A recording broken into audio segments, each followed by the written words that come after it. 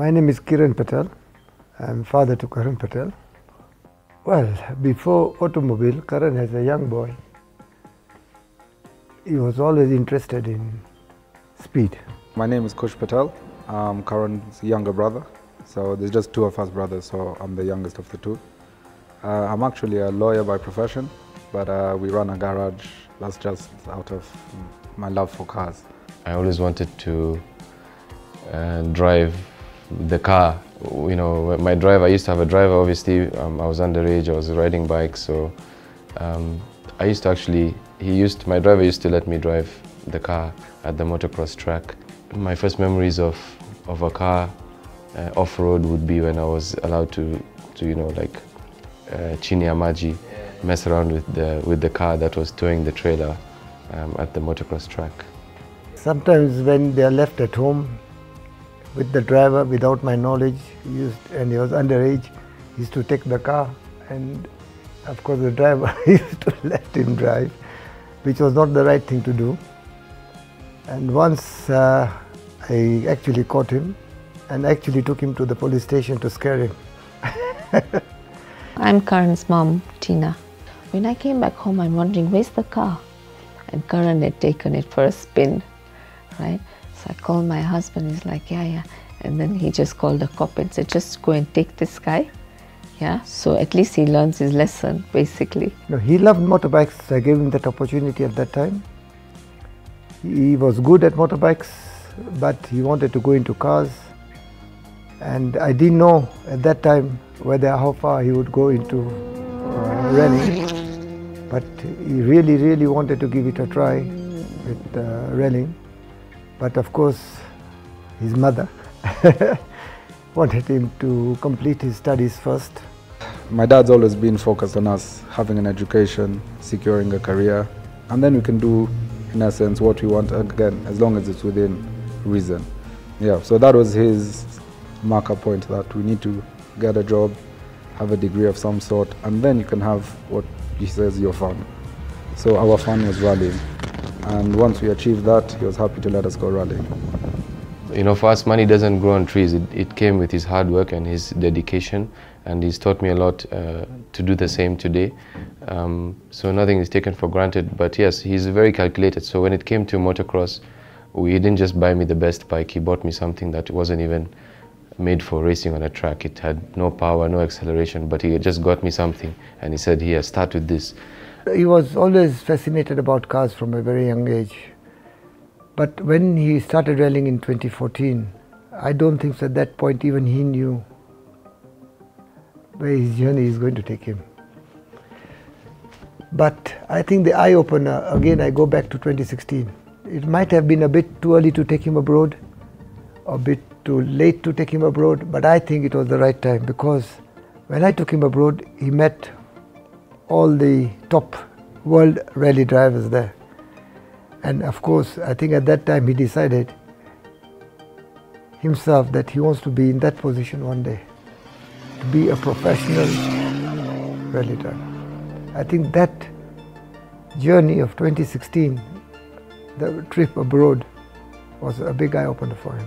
Uh, I think uh, when Karan went there, he thought he was going to be the best, which was not the case. He was truly, truly shocked, as were we. Yeah. But I guess it taught him a lot to bring him to the level now. Yeah, I think if we didn't go there, he wouldn't be at this level now. Um, I was actually the first Kenyan to take part in a WRC event for a very long time when I participated in the Drive DMACK Fiesta Trophy, um, which was in 2016. So in 2016, uh, we did five events um, in, a, in, a, Ford Fiesta R2T car, which is a two-wheel drive turbocharged front-wheel drive car. And um, we did Finland, we started with Portugal, like, I don't know the sequence, it was Portugal, Poland, Finland, uh, Germany and Spain. So mix of tarmac, mix of uh, tarmac and gravel. Um, going into the events, definitely a lot of nervousness. Um, being a Kenyan, people didn't know what to expect, um, but the car was fully branded in Kenyan colors and uh, I was quite promising in the way I was racing, but I would get tired, so I'd lead, I'd lead the race for two, three laps, and then uh, fatigue would catch up. And then the, the next fittest guy is ahead. We saw a lot of evidence that there's fatigue, a lot of poor fitness in me. Uh, so that was the first thing I started working on as soon as we got back to Kenya from following all those events is fitness. Every moment of a rally for me is a bonding moment. Eh?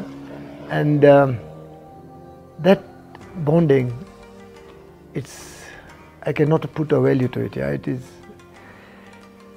it is the best way to bond, I think. You can give a child a present on his birthday, fair enough, it is appreciated, but a few days it's forgotten. And he's on his way, and he's on. But here, when rally comes, you're always back together. Then you come, you work. Then when rally comes, you're always back together. So that bonding, it's it's different from when you're bonding uh, by giving uh, maybe gifts I think most drivers in Kenya, and uh, I don't say all, but most, uh, rallying is a hobby of some sort. It's not a day in, day out thing for them. It's like, you know, weekend go out to drive. Karan is fully focused.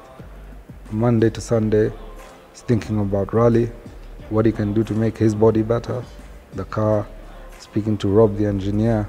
He is fully, fully committed. I think that's what makes a huge, huge difference is the commitment now. It's 150% from him. You know, back in those days, if you compare the rally entries today and the rally entries in, in, in 2014, 2015, today you might have 10. Back then you had 40 or 30, 40, maybe 50. So finishing top five was a huge thing for us, you know. It's like we're just amateurs. We're driving a 1998 Subaru Impreza. Most of the other guys are driving N10s, those the latest cars of those days and we were able to be there up there. So to get to where we are today, we you know we were not going to rally actually this season, um, just because the fi the finances had come to a position where we have to prioritize.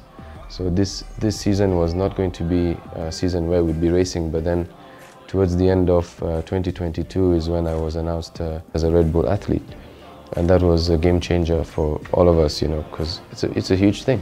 You can't have a pure career in motorsports. Yeah, the financials don't allow that. I think a major constraint for going global or something is finances. It costs a lot to run. I think any global sport team costs millions and millions per event. So I think financial constraints is one of the big things. And Red Bull coming into Kenya and providing to people the opportunity to be the face of Red Bull and uh, the sports I think it's giving people that notion that, yeah, you can make a profession out of this. When you have a sponsor on board, uh, personally, I can push a little harder knowing that there's some finance to put towards fixing the car should anything wear out or break earlier than expected.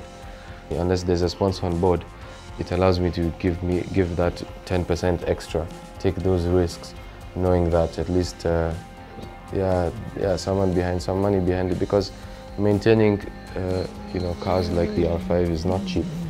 It takes its toll. So being me, I know how to take care of the car. I know I've learned how to preserve the car.